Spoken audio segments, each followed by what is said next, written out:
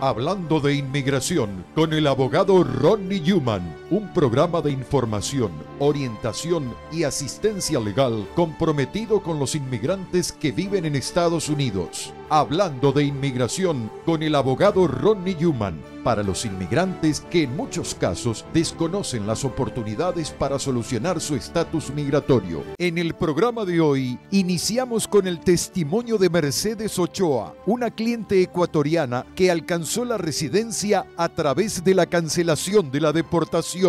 En el segmento de inmigración, el abogado Raymond Fasano invita a los inmigrantes a dejar el miedo de lado y hacer ya su caso de inmigración con Human Madeo y Fasano.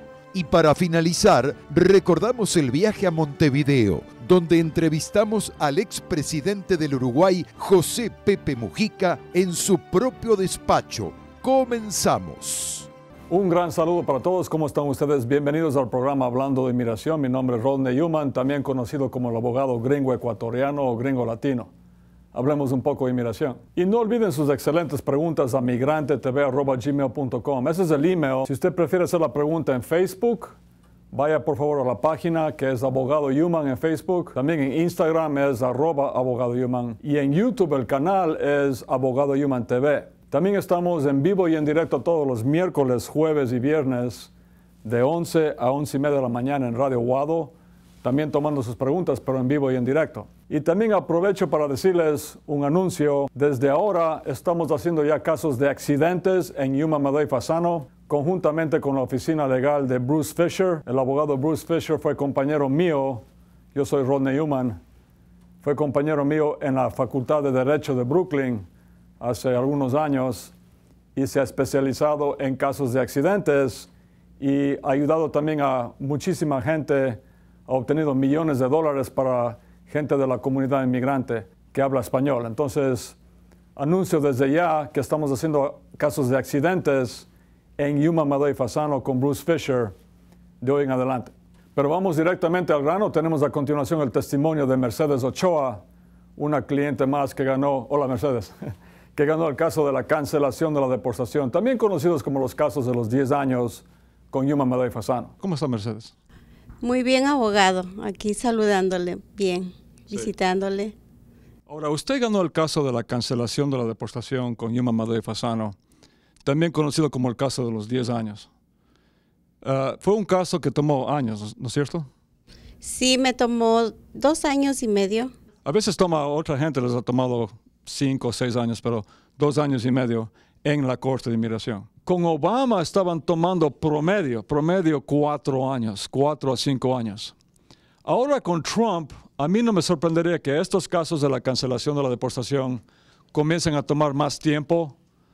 ¿Por qué? Porque mientras más gente pongan en Corte de Inmigración, más tiempo van a tomar los casos, porque no hay tantos jueces en las Cortes de Inmigración.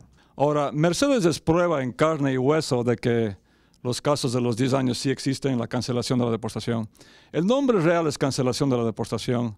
La gente le conoce también como los casos de los 10 años. Pero quería que usted diga en sus propias palabras de que estos casos son reales, que usted pasó por el proceso de la cancelación de la deportación, estuvo en corte con nosotros y ganamos el caso. Y ganamos el caso demostrando, convenciéndole a un juez en la corte de inmigración que su hija no puede ir a vivir en el Ecuador con ustedes si usted hubiera sido deportado al Ecuador, porque ella sufriría demasiado allá. Desgraciadamente hay gente, hay abogados incluso que han cometido fraude, han estafado a la gente, pero no aquí en Yuma de Fasano. Aquí jamás hemos hecho un caso falso de cancelación de la deportación, ni tampoco de asilo. Usted pasó por todo ese proceso. En sus propias palabras, Mercedes, uh, la experiencia y que ya tiene la green card y que va a viajar incluso a México.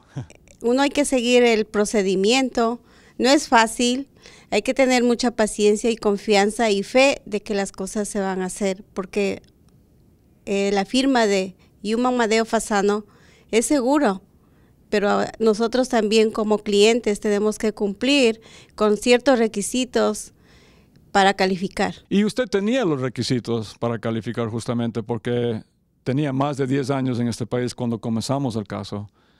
Tenía hijos hijas americanas nacidas aquí, menores de 21 años, y usted se había portado bien. Si no, no hubiéramos tomado el caso aquí en la firma.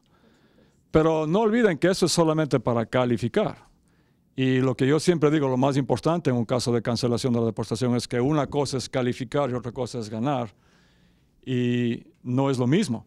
Y para ganar el caso, una vez más, tuvimos que convencerle, muy difícil, pero no imposible, convencerle a un juez en la corte en Manhattan que su hija iba a sufrir demasiado si tenía que ir a vivir con ustedes en, en el Ecuador. Entonces, aquí está la prueba nosotros nunca hemos estafado a nadie en Imam de Fasano. Yo duermo bien de noche porque tengo la conciencia tranquila.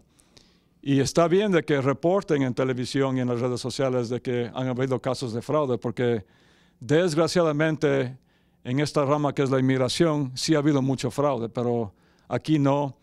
Y con mucho orgullo digo yo que hemos sacado miles de green cards solamente con el caso de la cancelación de la deportación. Son los casos que más hemos hecho aquí y Mercedes Ochoa es un ejemplo aquí en vivo y en directo. Ella lo dijo, ya viajó tres veces al Ecuador y ahora próximamente a México. Y le pedí a Mercedes que tranquilice a la gente y les asegure de que esto sí es posible y, y ha viajado varias veces al Ecuador. Entonces, gracias una vez más. Continuamos hablando de inmigración con el abogado Ronnie Human. A continuación, mis amigos y amigas, mi socio Ray Fasano, quien nos habla de los reglamentos muy duros del gobierno actual en contra de los inmigrantes, pero también lo más importante, no queremos asustarles a ustedes, al contrario, queremos que vengan lo antes posible a Yuma Madre Fasano, edúquese con nosotros, aprenda sobre las leyes y lo más importante, aprenda cómo podemos ayudarle a nosotros, a usted, a solucionar su caso de inmigración mi socio Ray Fasano. Hola a todos, mi nombre es Ray Fasano de la firma de abogados de Human, Madeo y Fasano. Si ustedes vieron en televisión el discurso State of the Union, el Estado de la Unión recientemente del presidente Trump, se habrán dado cuenta que su prioridad número uno es la inmigración. Y durante los últimos tres años es verdad que el presidente Trump ha tomado muchas acciones en contra de los inmigrantes. Está supuestamente construyendo la pared. También tiene este programa de asilo bajo el cual los aplicantes de asilo tienen que esperar en México para sus casos de corte de inmigración. También ha hecho acuerdos de tercer países seguros con México, Guatemala, El Salvador y Honduras. Y también tiene el veto de viaje para varios países y recientemente añadió a otros países como Tanzania, Burma, Sudán y Nigeria. Y también tenemos el reglamento, el nuevo reglamento de la carga pública, bajo el cual si usted está aplicando para su residencia en este país o está aplicando para la visa residente en los consulados, y alguna vez ha recibido algún tipo de asistencia pública, eso puede ser un factor en la decisión de otorgarle a usted o no la green card, la residencia, aunque usted tenga un sponsor, o sea, un patrocinador, un garante. Y también el presidente atacó a los Dreamers cuando eliminó el DACA en el 2017 y ese caso está ahora mismo peleándose en las Cortes Federales y está en la Corte Suprema de Estados Unidos. Ahora, ¿por qué les digo todo esto? No es solamente para darles malas noticias, es más bien para recordarles que estamos enfrentándonos a estas políticas antimigratorias del gobierno actual y un presidente que es de verdad anti-inmigrante. Entonces, si usted no tiene estatus migratorio en este país, no hay mejor momento que ahora mismo para que usted venga a Yuma Madei Fasano lo antes posible y se eduque con nosotros y se informe de qué podemos hacer nosotros para usted en inmigración. Usted no debe ignorar su problema de inmigración. Debe de verdad venir a vernos vamos a educar a usted sobre las leyes de inmigración. Este libro muy grueso lo vamos a simplificar nosotros para usted. Y así usted también va a aprender estas leyes. Y si alguien le pregunta qué está haciendo Yuma Madei Fasano para usted, usted les va a contestar a ellos exactamente qué es lo que estamos haciendo nosotros para usted. Todos los días, prácticamente todos los días, tenemos a gente que está siendo ya representada por otros abogados, pero vienen a nosotros porque quieren una segunda o tercera opinión. Y hay mucha gente que que ya tiene un permiso de trabajo incluso, y cuando les pregunto qué ha hecho este abogado para usted, me dicen no lo sé, o a veces no se acuerdan el nombre del abogado. Y yo nunca entiendo cómo es que le dio usted dinero a un abogado, cómo es que firmó un contrato con un abogado, cómo es que usted tiene un permiso de trabajo y usted ni siquiera sabe qué es lo que ha hecho el abogado para usted. Ese es un problema muy grande. Usted tiene que poder confiar en su abogado. Cuando usted venga acá, usted va a leer nuestras biografías, va a aprender sobre todas nuestras experiencias profesionales como abogados y cuántos casos hemos ganado. Hemos ganado decenas de miles de casos. Hemos escrito artículos en revistas, en periódicos hemos enseñado clases de leyes de inmigración, hemos hecho leyes nuevas en las cortes federales. Y usted puede venir acá y consultar conmigo o con el abogado Madeo o con el abogado Human, quienes somos los socios de esta firma. Y además tenemos 13 abogados más que trabajan en esta firma. Son 13 abogados diferentes que trabajan directamente en nuestra firma de abogados de Human Madeo y Fasano. Y todos trabajamos juntos en equipo para tener el mejor plan de acción para representarlo y defenderlo a usted. Trece abogados jóvenes más tres socios.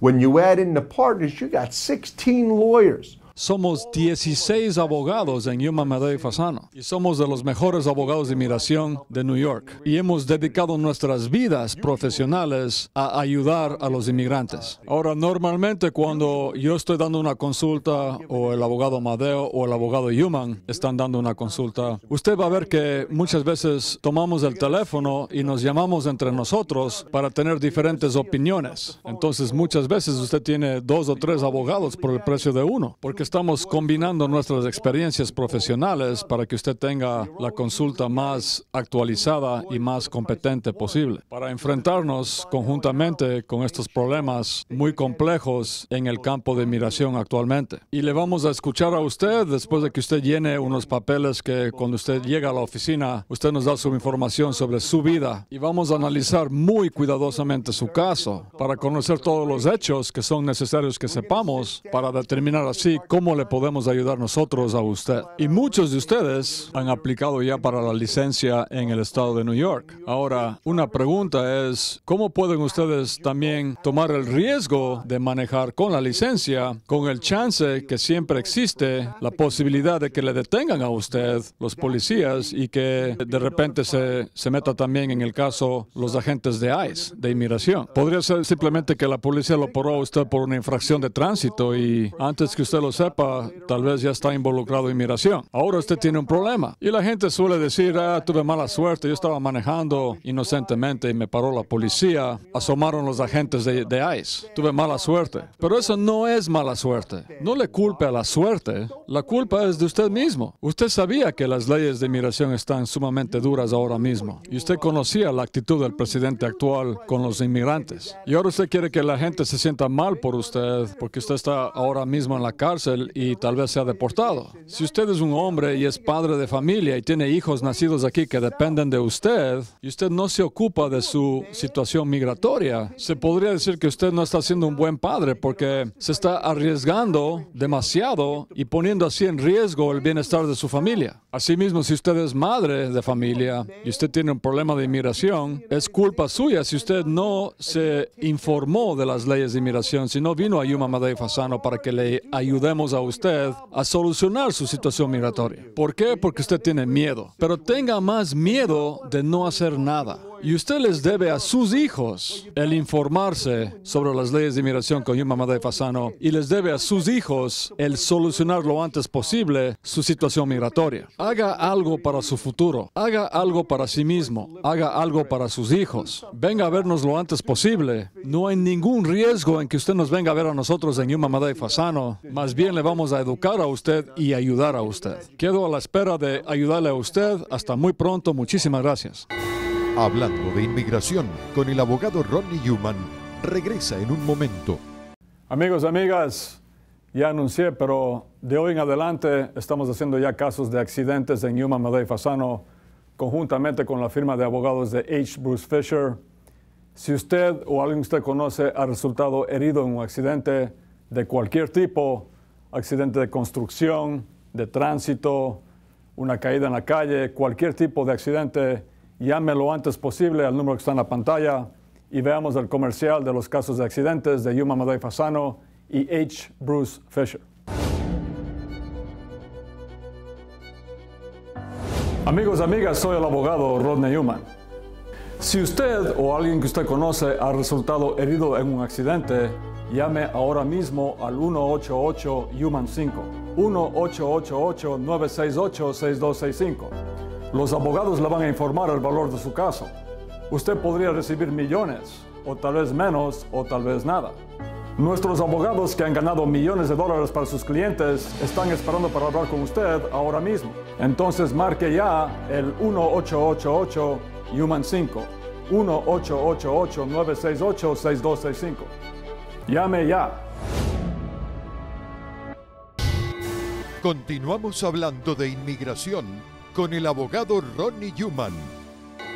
Amigos amigas, a continuación ah, nos remontamos hace unos años atrás tuve la gran suerte, la gran oportunidad de viajar a Uruguay, a Montevideo, y entrevistamos ahí con Sergio Rinaldi al ex presidente de Uruguay, José Pepe Mujica. Ahora, muy aparte de la, la posición política, si usted es de izquierda o derecha o de centrista, eso es secundario porque lo que más me impresionó a mí de José Pepe Mujica es su gran calidad como ser humano y una de las personas más interesantes que he conocido en mi vida, tal vez la más interesante, un gran filósofo y una persona que habla del alma mismo y habla directamente a los inmigrantes. Veamos la entrevista que hicimos hace unos años con José Pepe Mujica, ex presidente de Uruguay. es un gusto y un deber.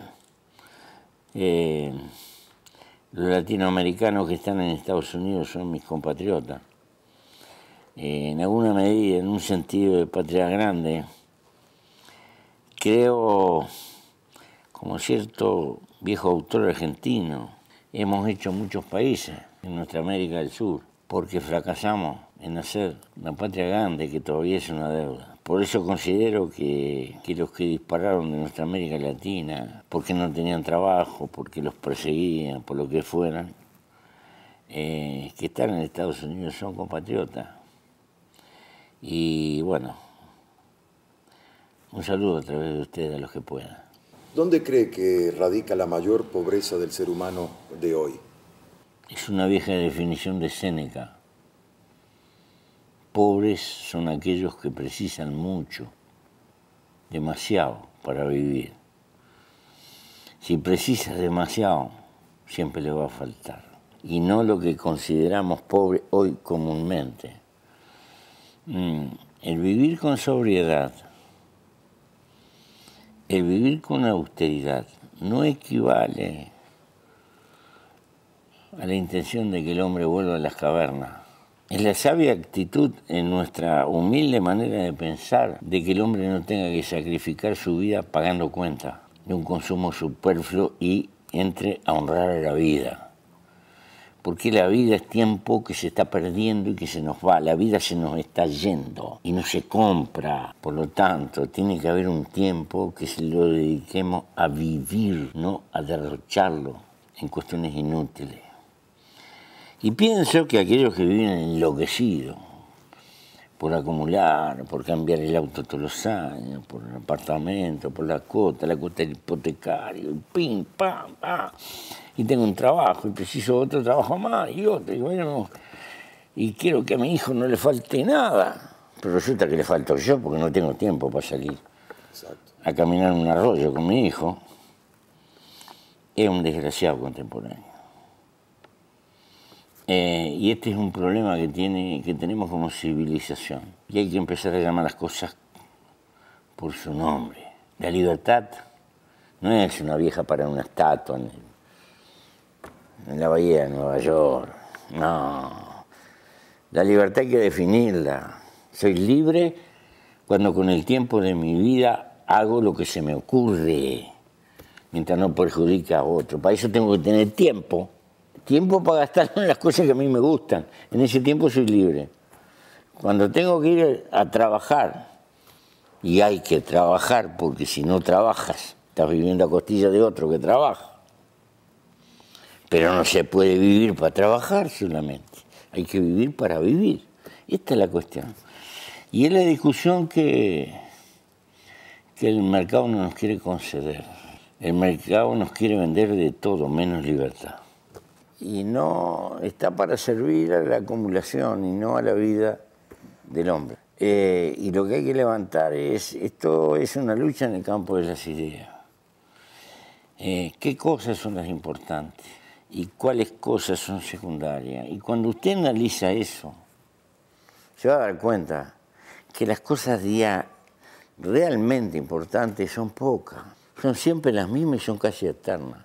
El amor en la etapa juvenil de la vida, los hijos, un puñado de amigos, tener un techo más o menos seguro, tener la comida más o menos segura y, y alguna chifladura cultural de que a uno le va a gustar la música, al otro, este, y, y todo lo demás bulla. Entonces, perder esas cosas tan cotidianas, tan aparentemente comunes, pero que son las únicas que tienen valor, es la impostación que ha generado esta cultura que en, que en definitiva gira alrededor del mercado. En lugar de girar eh, a favor y en derredor de la vida del hombre, sacrifican la vida del hombre a la existencia del mercado. Señor presidente, ¿cuál es su opinión sobre la política migratoria de Estados Unidos? Es muy contradictoria. Estados Unidos sin inmigrantes se derrumba, se estanca. Eh, eh, picándose el ombligo, para lo único que va para el estancamiento. Primero, que el tronco típicamente norteamericano ya pertenece a una sociedad desarrollada y rica, por lo tanto va a tener un vientre pobre porque los vientres ricos son los vientres de los pobres. Más claro, los que tienen hijos son los pobres. Ya cuando tienen mucha plata, tienen que cuidar la figura, esto, el otro, patatín, pat... la hacen toda difícil. No tienen hijos. Los pobres, los hijos vienen como, como las canas, naturalmente. No va a poder renunciar a la inmigración. Lo único que va a hacer es que va a perseguir, que va a tener durante algún tiempo sujetando, porque no entre pero en realidad está condenada a ser una nación bilingüe, porque los latinoamericanos somos muchos más, nos reproducimos más, tenemos más necesidad y caminamos más. Entonces que inventen lo que quieran, pero con la realidad no van a poder. Porque además va a haber trabajo duro, siempre, que ellos no van a querer hacer. Van a precisar gente que venga del tercer mundo, que la haga. Y bueno, pero va a haber corrientes conservadoras que van a pensar que la felicidad del futuro está encerrándose, que no venga nadie. Y es exactamente la grandeza de Estados Unidos, es hija de la fenomenal inmigración que tuvo. Es una construcción multinacional de gente que vino de todas partes y contribuyó a crear esa enorme potencialidad que tiene no creo que como nación a la larga pueda renunciar a esta cuestión esencial. Si a uno le pregunta, ¿de dónde vinieron los norteamericanos? De los barcos. ¿Dónde van a venir? Última pregunta de inmigración de mi parte. ¿Y cuál es la política de migratoria de la República Oriental de Uruguay? Bueno, nosotros somos un pueblo exquisito, pequeño, y hemos decidido ser pocos porque nuestra tasa de crecimiento es, muy pobre. Es igual a la del pueblo argentino. Lo que pasa es que el pueblo argentino crece por los vecinos. Si fuera por los argentinos no crece tanto. Nosotros estamos, tenemos, diría demográficamente, el peor problema que tiene mi país es la tasa de natalidad. Somos una nación que está envejeciendo y con poca capacidad de reposición. Pero somos latinoamericanos Algún día van a llegar paraguayos, brasileros, como siempre ha sido, porque esto es como la física. En la física hay horror al vacío. No pienso que los vecinos no nos van a dejar tranquilos de que tengamos un país vacío con tantas posibilidades. Nosotros, nosotros em, eh, han empezado a aparecer cierto nivel de migración en tareas de servicio están apareciendo. Este, pensamos que de continuar este proceso económico Nosotros tenemos una tasa de desocupación que ronda el 5, 5,5% y nuestra mano de obra tiene problemas de calificación, etc. Eh, objetivamente nosotros vamos a recibir inmigración. Eh, por ejemplo, se han hecho algunas obras grandes, vinieron obreros de todos lados. Hay polaco, usted va a Colonia, va a encontrar ruso, alemán, austríaco son obreros calificados. Algunos de ellos se van a quedar porque encontraron un querer y quedaron amarrados, perdieron, como tantas veces. Este, otros se van a ir, pero van a quedar con nostalgia. Y hemos tenido sorpresas increíbles. Se nos acabó el tiempo, señor presidente, pero... Um, el tiempo sigue dando vuelta. Ya lo hice un poquito al principio, pero un saludo a la comunidad uruguaya y latina en, en Estados Unidos. Pienso que debe haber latinoamericanos que fueron ya con algunos años arriba. Eh, hoy sabemos que la primera etapa de nuestra vida, la niñez, es determinante en los sentires que vamos a tener a posterior. Cualquier latinoamericano que haya ido con 20, 25 años a Estados Unidos, seguramente que en algún momento va a tener la nostalgia de lo que quedó atrás que no cometa la tentería de que la sociedad consuma y lo trague. Más claro. Trate de juntar algún mango. Trate de juntar algún mango. Y cuando esté cerca del hoyo, vuelva. Si puede, vuelva a morir donde nació.